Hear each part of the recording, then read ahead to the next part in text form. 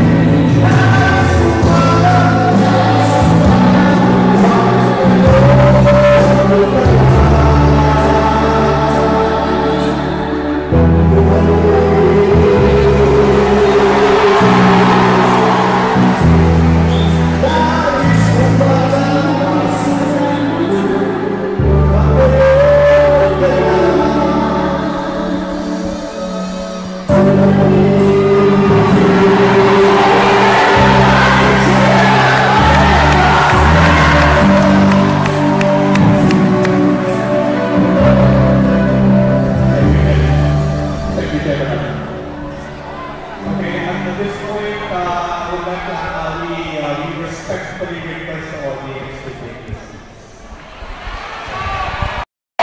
Inexpect na na dumating ang ating Pangulo anytime para i-address ang uh, Filipino community. Excited na excited na. Napaka-successful ng meeting niya sa Pangulo at Prime Minister ng uh, ng, uh, ng Singapore. Ito po ang ating mga kababayan.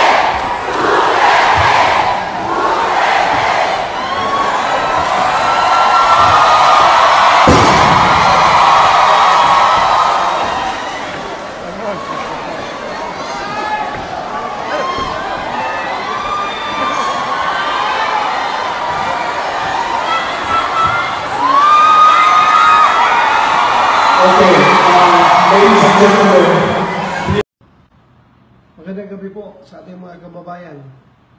Sa ating mga kababayan pong uh, sumali at uh, sumuporta sa mga rally na ginagawa para pagpakita ng suporta sa aming dalawa ni President uh, Duterte. Ako po si Bato. Uh, nagpapasalamat po sa inyo. Uh, Diyan na lang po kami kumukuha ng motivation at uh, lakas sa aming mga kasalukuyang ginagawa ngayon.